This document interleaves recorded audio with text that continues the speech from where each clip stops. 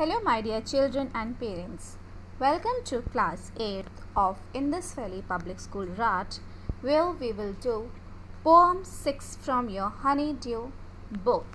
And the name of the poem is The Duck and the Kangaroo, composed by Edward Lear. Edward Lear was an English artist, illustrator, musician, author, and poet.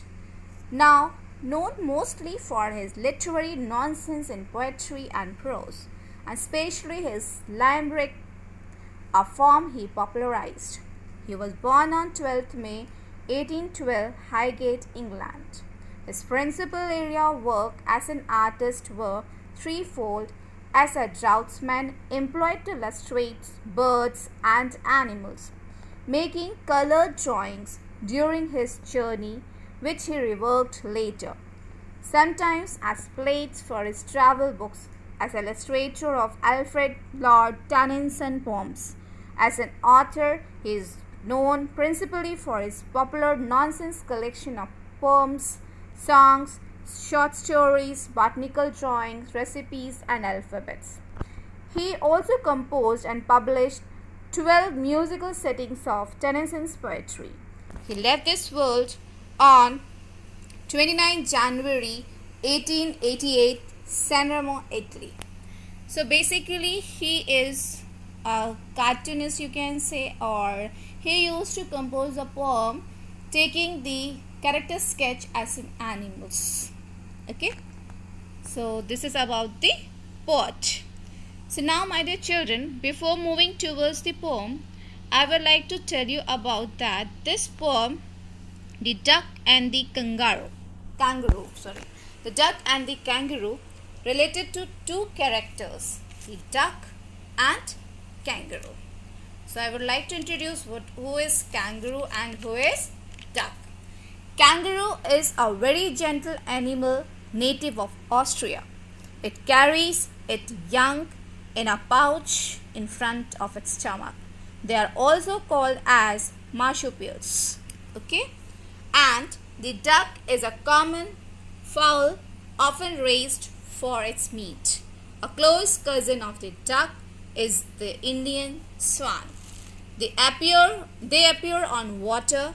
Their webbed feet are actually paddling vigorously underwater to keep afloat and moving. So in this poem,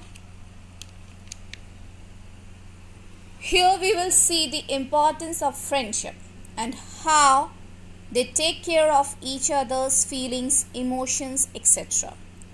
In the poem, there are two characters, two persona, and they are the duck and the kangaroo. The poem elaborates the desire of duck who was confined with the limit of the pond to go beyond and travel the world like kangaroo. The duck praises the hopping ability of kangaroo. Okay? So here this is about the poem. Now moving towards the poem. The first stanza of the poem. Said the duck to the kangaroo, Good gracious, how you hop over the fields and the water too, as if you never would stop. My life is bored in this nasty pond, and I long to go out in the world beyond. I wish I could hop like you, said the duck to the kangaroo. So now here conversation between the duck and the kangaroo is there. Duck sees the kangaroo and praises or you can say she is awestruck, captivated to see the movements of the kangaroo. It expressed that kangaroo could hop continuously over the fields and water bodies. The duck's life was boring as it remained in the pond and here it is saying pond as a nasty pond and the means of nasty is unpleasant okay and so she wants to uh, sorry it wants to go out of that pond it wished to see the world beyond the limits of the pond. It wishes that it could also hop like the kangaroo. Okay, so long means dearly wish for something. Okay, and the rhyme scheme in this stanza you can see A kangaroo, then B hope B, then kangaroo 2 say are similar so again A we are taking hope and stop similar so BB pond beyond similar sound is there so CC and A uh, again A U and kangaroo sounds the same. Good gracious we have alliteration. Okay so this is the rhyme scheme and uh, good gracious alliterations the poetic devices also we have got. Okay now coming towards the second stanza of the poem. Please give me a ride on your back said the duck to the kangaroo. I would sit quite still and say nothing but quack. The whole of the long day through and we would go to the Dee and the Giboli over the land and over the sea. Please take me a ride, oh do, said the duck to the kangaroo. So here again quack is the sound made by the duck. So now again the duck is requesting the kangaroo to give it a ride on its back and it promised that it would sit quietly, sit steadily, and would not say anything, only it will do quack all the day. The duck lists the places that they would visit Dee and Lee Boldy, Jelly Boldy. It adds that they would hop all the land and the sea. Again, she is requesting to the kangaroo. Who is requesting? The duck is requesting to the kangaroo. So again quack means sound made by the duck and rhyme scheme A B A B C C B B. You will find alliteration here sit quite still. Okay. Now coming to the next stanza. 3. Set the kangaroo to the duck. This requires some little reflection. Perhaps on the whole it might bear me luck and there seems but one objection, which is if you let me speak so bold, your feet are unpleasant, wet and cold, and would probably give me the rheumatism, said the kangaroo. So now, when duck requested the kangaroo to go to, to give her a ride then kangaroo says something. Before that reflection here means thought. So now kangaroo replied that it had to think over it. The idea could be good for him but he had an objection. So objection means complain. What kind of complaint that the duck's feet are wet and cold. And if the duck is going to sit on its back, then he is going to suffer with a disease known rheumatism. Okay, it's similar to the cold. Okay, so he is given an objection that I do not have a problem to take you, but there is a problem. What kind of problem? Because you used to stay completely in the water, so your feet are wet and they are very uh, this thing cold so they will cause me rheumatism let's see. So the rhyme scheme used here is a b a b c c d d. Okay? So duck luck same pronunciation reflection objection bold cold roo kangaroo. Okay? So this is the rhyme scheme in the stanza number 3. And what else you find here? In the stanza number 3, there are, uh, you can say one objection, alliteration is there. Okay? Fine. Coming next to the stanza number 4. So now in the stanza number 4, said the duck, as I sat on the rocks, I have thought over that completely and I bought four pairs of worsted socks which fit my bare feet neatly. And to keep out the cold, I have bought a clock and every day a cigar I'll smoke. All to follow my own dear true love a kangaroo. So my dear children, worsted means woolen, cloak means cover. So means uh, overcoat that we used to wear.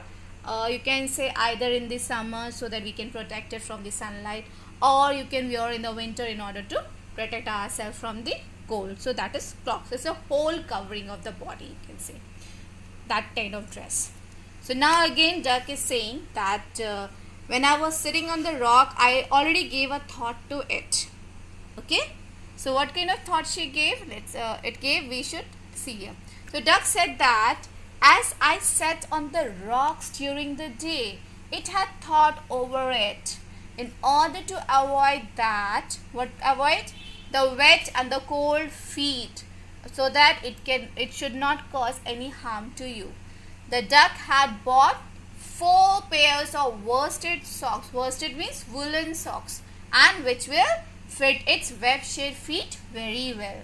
So in order to stay warm, it will wear a shrug or it will wear a cloak and also smoke a cigar every day. The duck would do all this to protect the kangaroo as it was a beloved. The love for kangaroo means beloved for kangaroo. Okay. So here she will do uh, it will do all kind of precaution in order to protect kangaroo rhyme scheme again you'll see rocks socks same sound completely neatly same sounds so ab ab clock smoke cc true kangaroo dd so this is the rhyme scheme now children see the line number 5 and 6 and to keep out the cold i have bought a clock and every day a cigar I'll smoke. So and and so anaphora is there in the line. Children, one more figure of speech is there, enjambment. E N J A B M A N T, enjambment. That it means when a sentence, when a single sentence we used to write in two, three lines. For example, you can say a sentence is there uh, like my name is so and so. So my name is one line, so and so in next line. So when one complete sentence we write in two three lines then that figure of speech is known as enjambment. So here in the line you can see all to follow my own dear true love for a love of a kangaroo. So this one line is there. It has been written in one sentence. It has been written in two lines. Okay. So new figure of speech is there. Now coming to the fifth stanza. Said the kangaroo, I'm ready, all in the moonlight pale, but to balance me well, dear duck, sit steadily and quiet at the end of my tail. So away they went with a hop and a bound, and they hopped the whole world three times round. And who so happy? Oh, who? As the duck and the kangaroo. So now here in the stanza, the kangaroo was satisfied with the duck's response and got ready for the ride. At night, when the sky was filled with pale light of the moon, they started their trip with a hope.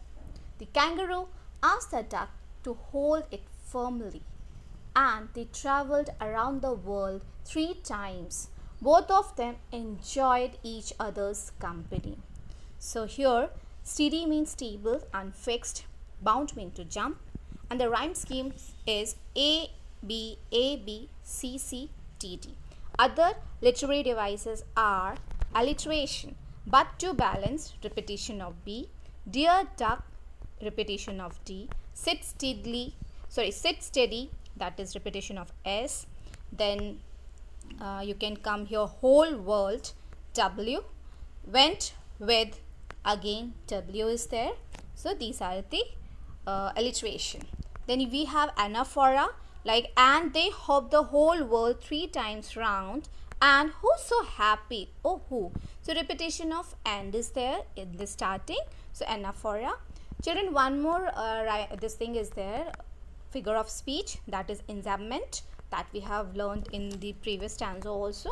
Like uh, here you can say but to balance me well dear duck sit steady and quiet at the end of my tail so here one sentence is uh, written in two different lines. So enjambment is there so here we end with the poem and we have seen true friendship and in friendship they care each other. Before a problem is shared already solution is there. So a quite humorous and a lovely poem it is. And in this poem so value your friendship care your friendship and do good to others okay my dear children. So go through the explanation and any doubt please do call me up and clear your doubts. Till then bye bye take care and thank you so much